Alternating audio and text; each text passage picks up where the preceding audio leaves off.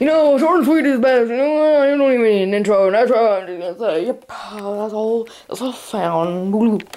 Oh, amazing what you can do in 10 seconds, right? Oh it's time.